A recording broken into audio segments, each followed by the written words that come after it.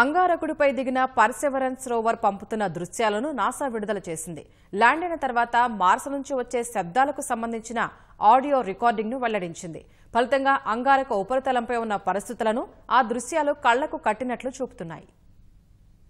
అరుణగ్రహం ఉపరితలంపైకి నాసా పంపిన perseverance rover పని ప్రారంభించింది. అధ్యయనానికి అవసరమైన వాటిని రికార్డు చేస్తూ నాసాకు పంపిస్తోంది. పర్సెవరెన్స్ రోవర్లో రికార్డు స్థాయిలో ఇరవై ఐదు కెమెరాలు రెండు మైక్రోఫోన్లను ఇంజనీర్లు అమర్చారు. రోవర్ ల్యాండింగ్ సమయంలో రికార్డు చేయడానికి ఏడు కెమెరాలను ఇంజనీర్లు స్విచ్ ఆన్ చేశారు. అంగారక గ్రహం నుంచి ఇలాంటి శబ్దాలు దృశ్యాల్ని సాధించడం ఇదే మొదటిసారని ఇవి నిజంగా అద్భుతమైన విషయాలని నాసా ప్రకటించింది.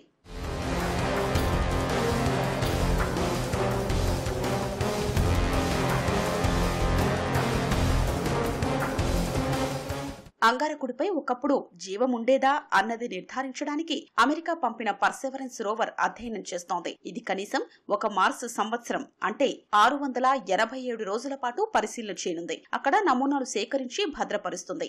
వాటిని భూమికి తీసుకొచ్చి ల్యాబ్స్లో పరిశోధన చేయాలన్న ప్రణాళిక ఉంది. ఈ నేపథ్యంలోనే పర్సెవరెన్స్ వాహనంలో అమర్చిన రెండు మైక్రోఫోన్లు అక్కడి దృశ్యాల్ని శబ్దాల్ని రికార్డ్ చేసి భూమిపైకి పంపించాయి.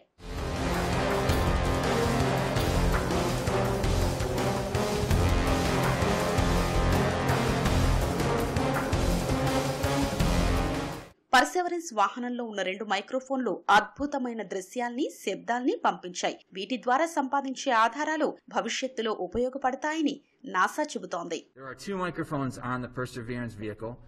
There's this microphone here, which is part of the entry, descent, and landing system, and there's a second microphone that's on the SuperCam instrument. And we're, we're counting on both of these instruments recording some absolutely amazing uh, sounds from the surface of Mars. So, with that, um, I invite you now to, if you would like to close your eyes and just imagine yourself sitting on the surface of Mars and listening to, to the surroundings. If we get a snapshot of, uh, of uh, actuator today, and uh, you know you can compare over time, do another snapshot, another audio file of that uh, of that actuator in the future. Compare the two and see if there's anything that can be learned in terms of the health of that uh, that device. basically with this microphone we'll open a new area of Mars exploration.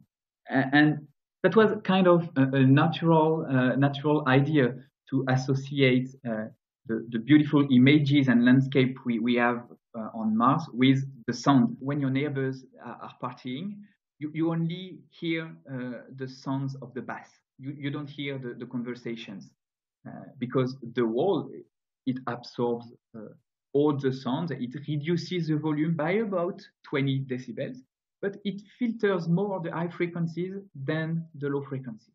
ఈ Perseverance రోవర్తో పాటు ఒక చిన్న హెలికాప్టర్ను కూడా NASA అంగారకుడి పైకి పంపింది అది ఎగరడం సాధ్యమా కాదా అనేది తెలుసుకోనుంది ఎంతో సృజనాత్మకంగా తయారు చేసిన ఈ హెలికాప్టర్ ఇంజనీరింగ్ అద్భుతంగా ఉందని నాసా వర్ణిస్తోంది. ఈ రోవర్ ద్వారా అంగారక గ్రహంపై గతంలో జీవం పుట్టడానికి పరిణామం చెందడానికి ఉన్న అనువైన వాతావరణ పరిస్థితుల్ని గుర్తించనున్నారు. అంగారక గ్రహంపై గతంలో బ్రతికిన సూక్ష్మజీవుల ఆనవాళ్ళని సేకరించడం ప్రత్యేకంగా రాళ్ళల్లో ఉన్న అవశేషాన్ని గుర్తించి వెలికి తీయనున్నారు. అంగారక గ్రహంపై రాళ్ళు మట్టి శాంపుల్స్ సేకరించి భద్రపరుస్తుంది. అంగారకుడిపై ఆక్సిజన్ ఉత్పత్తి గురించి పరీక్ష చేయడం ద్వారా భవిష్యత్తులో మనుషులు అక్కడికి వెళ్ళడానికి ఇది ఉపయోగపడనుంది.